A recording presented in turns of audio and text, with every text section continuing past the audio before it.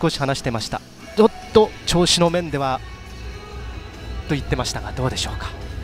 こちらは羽生。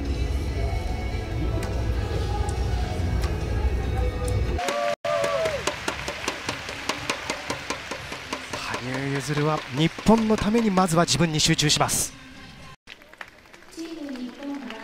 宇野昌磨が素晴らしい演技を見せてくれました。そして大会初日を締めくくる羽生結弦です。最高の演技。これまでの自分への挑戦だと国別対抗戦に向けての意気込みを話してくれました。過去の自分いろいろな自分を超えたいという羽生。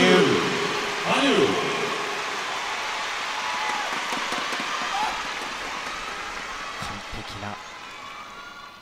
ショートプログラムは見せられるか。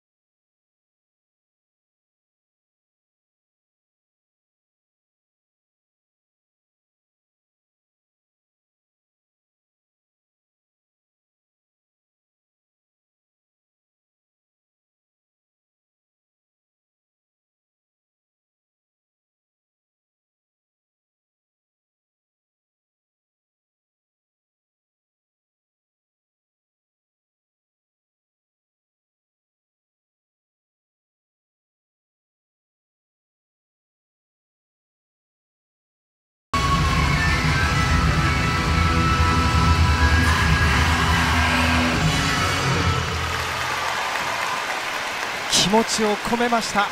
それだけに悔しさが募りますやはり冒頭の4回転ループは少し、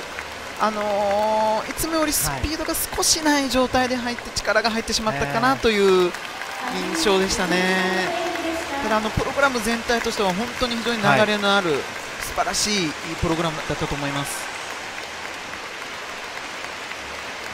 状態の良さ直前の公式練習でもあの上着を着たまま4回転サルコーを飛んだり、そうしたものを見ていただけにその試合という難しさを何かこう我々も改めて見るようなそですね、やはりあの試合の一本一本に集中して飛ぶというのがはい、やはりどれだけ難しいかというところですね。本人としても、はい、あの絶対飛べるぞっていう自信はあったと思うんですけれども、その自信とはい、自信をどれほど持ってこう向き合うかっていうところで、もしかしたらいつもと違う、はい。あのー持っていき方感じがあったのかもしれないですね。本人も言ってましたが世界選手権のフリーで世界最高を出して完璧なフリーを見せた後にただそこから完璧な演技をまた続けるというのがフィギュアスケートは本当に難しい。ただそこに挑んでいきたいし実現したいというふうに大会前は話してました、仲間に思わず頭を下げた羽生ですがただここまで頑張ろうという思いにさせているのは羽生結弦でもあります。ここですね、はい。4回転ループ。そうですね少しええ。氷に力が強く伝わりすぎているかなという感じがしましたね、やはりあの飛ぼうという気持ちが強いとどうしてもこう力んでしまうというのはまあ誰しもあることですのではい。そういったところが少し出たかなという感じがします。この4回転サルコーもあのテイクオフ飛び上がりは決して悪くなかったんですけども、ランディングの部分でですね、少しアウトエッジに倒れすぎたかなという感じがしました、ただこのトリプルアクセルは本当に素晴らしいですね。バックアウトカウンターから直ちに飛ぶこのトリプルアクセルというのは大きく加点されます、まあ彼のまあ一はい。つトレードマークでもあるトリプルアクセルですよね。こういったステップも本当にまあプリンスのこう曲をしっかりこう聴きながらはい。こういった体を大きく使った表現ですとか本当に素晴らしいステップシークエンスでしたね。かなり挑戦的なプログラムだけどそれを完成させてみんなと一つになりたいんだとこのプログラムへの思いも常日頃話していた羽生ただこれまでの羽生選手を見ていると小田さんなんだか明日のフリーへの序章というか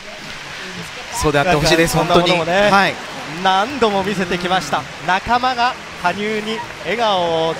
取り戻させてくれます。これが団体戦ですね。そうですね、はい。